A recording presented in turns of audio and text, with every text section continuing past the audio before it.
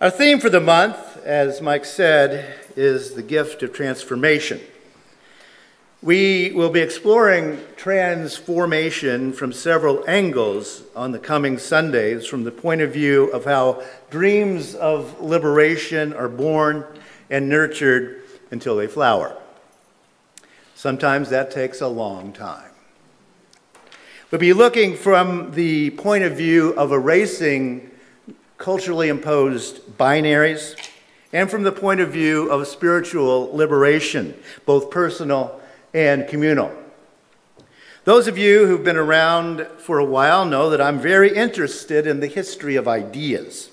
I want to know when human beings could have certain ideas and why and what that leads to. What are we capable of thinking at any particular time? And it's less than we sometimes assume. At noon today, our Archives Committee will be discussing an essay by the first minister of First Unitarian Society. A few months back, Phil Duran back there, who's a member of our Archives Committee, asked an intriguing question. What's the through line, if there is one thing, that ties together all the ministers and all the congregations that have gathered here at First Unitarian Society? Which is a good question. Is there a through line? And I think that there is. Allow me to offer one little tidbit in terms of the history of ideas. This congregation gathered in 1881, but the term agnostic hadn't been invented yet. Now, a good portion of FUS folks over the years have been either atheist or agnostic. But what were they before the term was invented? That's a good question. What does it mean to the story of this congregation that we developed out of the Minnesota chapter of the Liberal League? Very unlike any other Unitarian or Universalist congregation in the nation. To enter the process, allow me to share with you the nine demands of liberalism. These were issued in 1873 by the Liberal League by the theologian Francis Ellingwood Abbot. Now, I'm not going to read them all, but you can kind of get Reverend Abbot's ideas here by the pamphlet he wrote, The Impeachment of Christianity. Number one on the list of the Liberal League was We demand that churches and other ecclesiastical property shall no longer be exempt from taxes.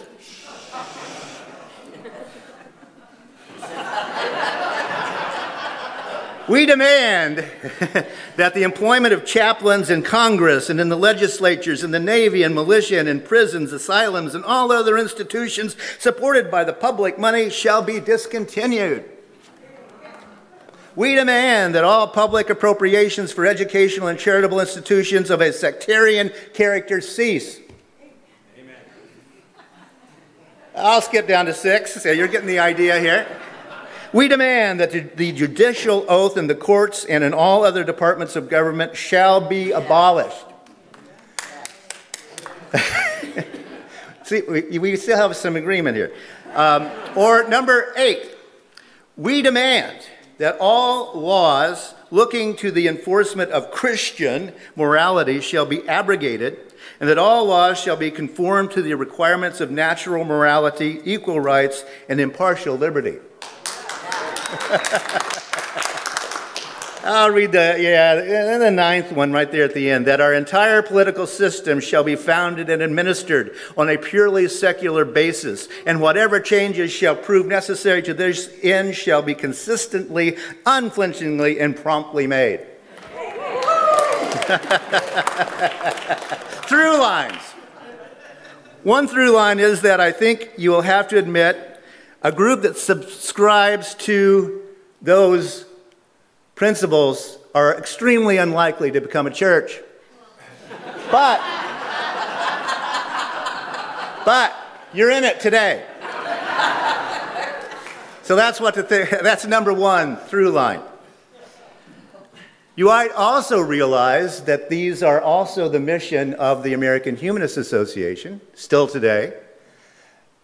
It still is not accomplished today, but the connect line there is that John Dietrich's best friend was Curtis Reese, who became the first president of the American Humanist Association. So again, humanism comes out of this congregation. It formed after the Second World War. Now, how did such a thing happen? The Liberal League failed in their legislative agenda, as you see. Almost everything they opposed about United States law is still in place 151 years later. How did this happen? One answer is that the Liberal League chapter here in Minneapolis, after their national agenda failed, kept meeting and they formed a study group for Charles Darwin's Origin of Species, which had been published in 1859. And that's a story that's relatively well known. Today, I want to look at another through line, a more subtle one, but I think an equally important one to what we're doing today. And it's so subtle that it doesn't even have a name, though we would dare to speak it if it had one. This part of the story begins not in 1859, but in 1836 with the publication in book form of Ralph Waldo Emerson's long essay, Nature. Emerson's boldness got him kicked out of speaking at Harvard for 30 years. One of those very affected by Emerson, Emerson's writing was the American poet Walt Whitman, who wrote this Re examine everything you've been told Dismiss whatever insults your own soul. That's pretty radical. But I would say it too is a through line in this congregation. It's radical.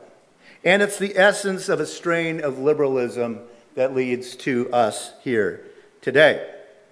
When I took a graduate class on Walt Whitman many years ago, we went through his entire oeuvre I love what the, the his entire Eve. Yeah, it ain't gonna do it. Without the professor once mentioning that Walt Whitman was gay. Now that's a big thing to leave out of uh, a person's life who fought for this gay rights all of his life. But it was the dominant American attitude in Whitman's time, and it remained true when I was in college. In Great Britain, however, Whitman was seen in his own time as a gay activist. Whitman's greatest disciple was the British activist Edward Carpenter. Now, I hope you've all heard of Edward Carpenter at this point, but if you haven't, I want to teach you a little bit about him today uh, so you can hold on to this wonderful, brilliant man who did change things. Carpenter wrote Whitman a fan letter. And the ending went like this Because you have given me a ground for the love of men, I thank you continually in my heart. For you have made men to be not ashamed of the noblest instinct of their nature. Fairly open about that. Carpenter emulated Whitman in many ways.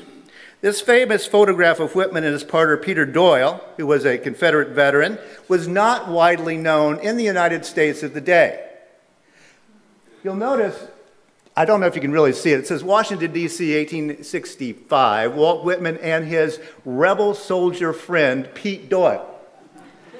Now, this was circulated among the people interested in the real Whitman, and one of the people who got a copy of that was Edward Carpenter. If you look closely at this photograph of Whitman and his lifelong lover, uh, well, first, Pete, where's your hand?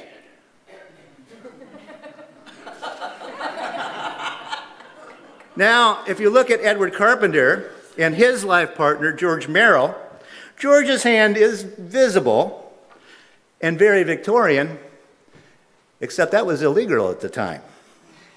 But they're out and proud, despite the fact that during this time, Oscar Wilde was being hounded to death, right?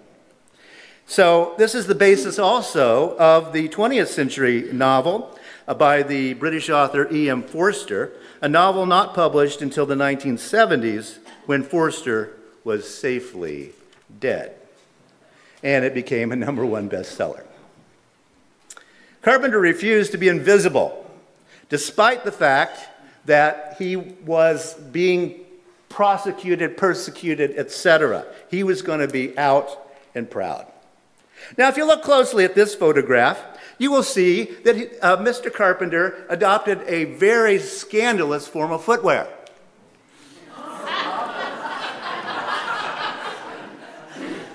he introduced to the British public the wearing of sandals, freeing the British foot. But you will also notice his definitive statement on sandals and socks. but it's a cold climate, right? As a matter of one of the realities of those days that there was a convention of never smiling in photographs. So Carpenter and his friends had a really great time never smiling while they were doing incredibly weird things in photographs. Nowadays we have to smile, right? It's a convention now where you have to be happy all the time. Interesting, isn't it? Well, Google Edward Carpenter, and I think you'll find a lot of very interesting things out there. Carpenter did forego socks in the warmer weather, as a matter of fact. He and um, his lover often went to Morocco, and so anytime he got in the warm climate, he did take his uh, socks off. So there you go. it's ambiguous. Now, here's a pair of Carpenter's actual sandals preserved in a museum. As you can see, they were not Birkenstocks. If you look closely enough, you'll see that they were handmade. And another of Carpenter's great interests was the arts and crafts movement uh, of William Morris. He wanted things handmade and aesthetic, right? Carpenter wrote, Every human being grows up inside a sheath of custom which enfolds it as the swathing clothes enfold the infant. Now, these do not look like happy children to me. the term swaddling has now been a little bit um, rehabbed, I suppose. But um, I looked it up. Again, I find these things very interesting. Why didn't he say straitjacket? Well, straitjacket, straitjacket doesn't become a term used in the general population until the 1950s. So, really, no one would have known what he was talking about, right? But that's what civilization does to human beings, said Mr. Carpenter and of course Emerson and Whitman, etc. Now, a sheath of custom. Um, a lot of things in this time period had to be coded. You, you, had, you couldn't say what you were saying. So here's your Latin pop quiz for the day. What is the Latin word for sheath? Vagina. so, that's where it comes from. So, breaking out of the sheath of custom meant a couple of things for Carpenter. also, by the way, in terms of this history of ideas, you know, I mean, it's, it's, it's really quite amazing. The, the reason we discovered straitjacket in English, American English, is because women were called into the mental institutions during World War II because the men were gone. And the women said, My God, this is awful. And so prison reform began, and we do have, did have members who did participate in that. So, how did Carpenter's radical philosophy impact what we call religion today? He wrote, in, and I love the title, Civilization, Its Cause and Cure, right? we find ourselves today in the midst of a somewhat peculiar state of society, he said, which we call civilization but which even to the most optimistic among us does not seem altogether desirable. Some of us, indeed, are inclined to think that, is a, a that it is a kind of disease. Another Carpenter quote. Uh, this one from a book called Pagan and Christian Creeds. Today, these taboos and terrors still linger, meaning the things that the Christians were against many of them in the form of conventions of morality. Conventions is always going to be a bad word for Edward Carpenter. Conventions of morality, uneasy strivings of conscience, doubts and desperations of religion. But ultimately, man, capital M, will emerge from all these things free. Familiar, that is, with them all, making use of all, allowing generously for the values of all, but hampered and bound by none. Direct echo of what I just read from Walt Whitman, right? Whatever insults your soul, don't do it. Now, uh, my favorite quote.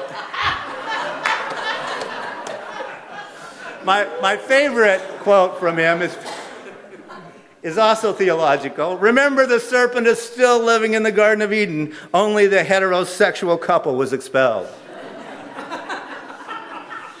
you see where he was going with that. well, how does that tie into FUS? it's the subject of today's noon presentation, uh, a couple of books by our first minister, uh, Henry Simmons. Our Archives Committee sent out an excerpt this week from the second book that he wrote. This is the first one, which I think, if you look at the, at the, at the year 1882, he came here in 1881. So I very much suspect that these essays are you know, taken from the sermons he was speaking the first year that he was here, I, I would assume. But Simmons said this Modern thought, with all its destructiveness, has only been enlarging religion. It has swept away the little firmament and the creative week, meaning the book of Genesis, right? Only to find a creation eternal and infinite and filled us with an order diviner than the Bibles ever told. Bibles, being all human scripture, all holy books, it's experience, right? Notice the plural in Bibles. All human scriptures. It's been swept away, it has swept away certain supposed miracles of broken law but only to show all the world a better miracle of laws unbroken. The world we live in, this material reality, is the good one. Old ideas of deity have indeed been destroyed, but only to show the universe pervaded by a power more godlike than the God of theology ever was, more mighty, just, and merciful. A universe pervaded, Simmons says. But this deity is not on a throne somewhere, the white guy in the sky, right? This power is right here, right now, every moment in our world today. Notice that these words are much like Edward Carpenter's, finding, after all, the long expected Savior of the world within his own breast, and paradise in the disclosure there of the everlasting peace of the soul. Heaven is here today. Was it an accident that Simmons was quoting Carpenter? I don't think so. These are the statements of people who have jettisoned traditional European religious thinking entirely. Now, I hasten to add that in the 19th century, up until the time of John Dietrich, in the, in the early 20s, the national body, the American Unitarian Association, would not tolerate atheists. If, if you were, became an atheist as a minister, just like the Baptists today, you were out the door. All right? So, Simmons had to be careful if he wanted to be employed. Many ministers of the time found themselves drummed out of the Unitarian ministry. Simmons, by proclaiming a pantheistic, so called pagan understanding of religion and God, was walking a very thin line in the late 19th century. But the people of FUS here allowed him to do that. Go, right, go. What were the practical implications of this way of thinking? Well, every day when I drive from my home in Golden Valley to here, I go through Theodore Wirth Park. And I say a little howdy to Eloise Butler Wildflower Garden. Now, Eloise Butler, who lived from 1851 to 1933, was an early member of First Unitarian Society. Like many people who have attended here, she was pushing the boundaries and working the margins. As she once wrote, at that time and place, no other career than teaching was thought of for a studious girl. This is a photo from about two years before she died. This is her 80th birthday photo. Notice there are no men in the picture except one guy up against a tree back there. I'll explain, I'll explain that in a little bit. Ms. Butler would have been a research botanist, I do not doubt. She, for example, discovered three different species of algae and has those named after her, despite the fact that she didn't have an official professorship. In the Sierra Club magazine a couple of years ago was an article titled The Women Who Saved Wildflowers. A couple of paragraphs say this the first wildflower garden in the United States was established in 1907 by Eloise Butler, an algae expert and sister of Cora Pease, a well known naturalist who connected Butler to a community of women scientists that included Elizabeth Britton and Ellen Swallow Richards, who was the first female instructor at MIT. Now, Butler uh, curated the Wild Botanical Garden from its founding in 1907 until her death in 1933 wearing brown coveralls and high laced black leather boots, armed with a broken off machete, and wearing a park watchman star pinned to her chest, she would run out the spooners who might crush her plants. Which is still a little outside social conventions. A spooner, that's another word that changes all the time. Spooners, parkers, you know, right. You get the idea. Now, over the gate today and then is this weird sounding phrase let nature be your teacher. Now, I don't know how many people even notice that today, but we can assume that Eloise and Henry Simmons knew the rest of the poem.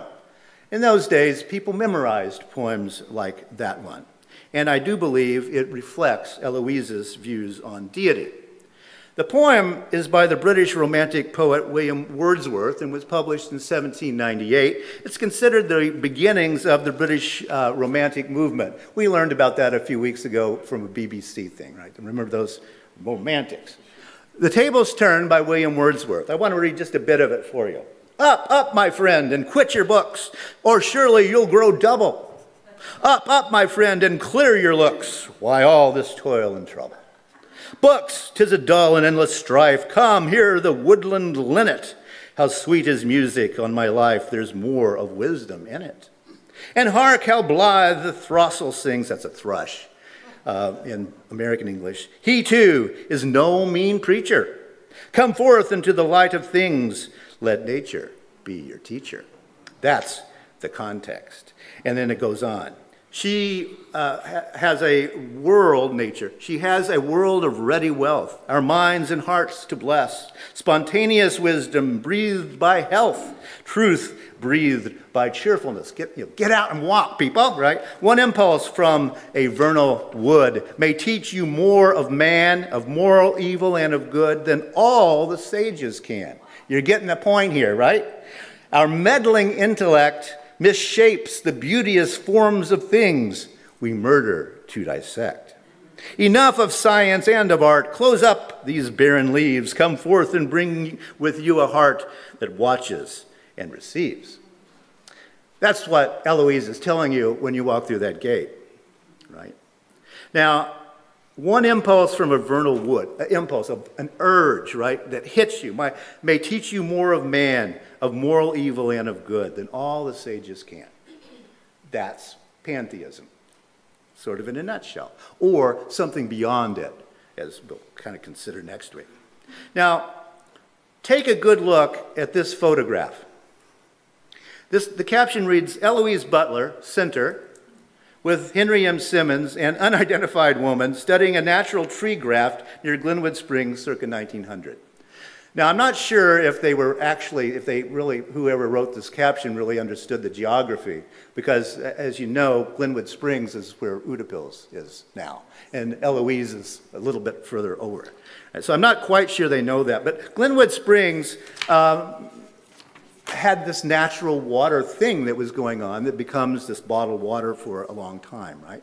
Now, notice that the clothing that the women are wearing, it, not, that's not exactly conducive uh, to gardening. Henry Simmons has his very stylish boater hat on and he's watching. Another convention at the time was that ladies, I suppose women could, but ladies did not garden without male supervision. Now, I assume that the ladies, what, what were they going to do gardening? But, you know, if, Victorian, you know, whatever. But I suppose the danger was that they might listen to the throstles singing, right? and hark the blithe, the, the uh, blithe throstle and come into the light of things. I don't know. We can't have women escaping the sheath of custom, can we? We can't have wisdom, uh, women listening to the thrush's uh, song instead of the stern preacher's warning. It all appears at first glance to be very milk toast, this little picture. No coveralls, no machete chasing after people. I have a suspicion, however, that Eloise knew just which male to choose to be her overseer for an obviously posed photograph. And he was a preacher to boot. And I have a suspicion most people in town didn't know what he was preaching either, right? All very milk toast, very proper, but can't you imagine that they were all saying in their minds, let nature be your, your teacher, with a rather different attitude than the person with the camera probably had. The norm of Unitarian Universalist and Unitarian Universalist congregations has been a slow, often awkward growth into political, social, and theological liberalism a development out of what Carpenter called the swaddling clothes, the straitjacket of social norms. FUS is not and never has been like that. We started in a different way. Why is FUS uniquely prepared to embrace transgender people and queer philosophy and a new future in realm of liberation? Well, all you got to do is look back to 1836 1859, 1873, 1881, 1916, 1964, and the list goes on. Liberation, transformation, I believe, is our through line. Does everyone at FUS know all of this suppressed history? Well, absolutely not, but I believe it is in the DNA of the place. For example, in, the 1970s, a group of gay folks met here calling themselves the Invisibles. They were so invisible that we only have a few notes in our archives about that group. But we do know that they were instrumental in establishing the Loring Park Pride Festival. Another attempt at liberation. And I think Edward Carpenter would approve. So thanks, Eloise. Thanks, Henry. And thanks to all the FUS ancestors who bravely broke free from the straitjackets, the sheaths of social norms, reaching out for freedom. Today, we are human as they once were, and we walk the paths that they created. Our duty to them is that we push on so that this congregation is and will remain a transformative place, a beacon of liberation. Thank you.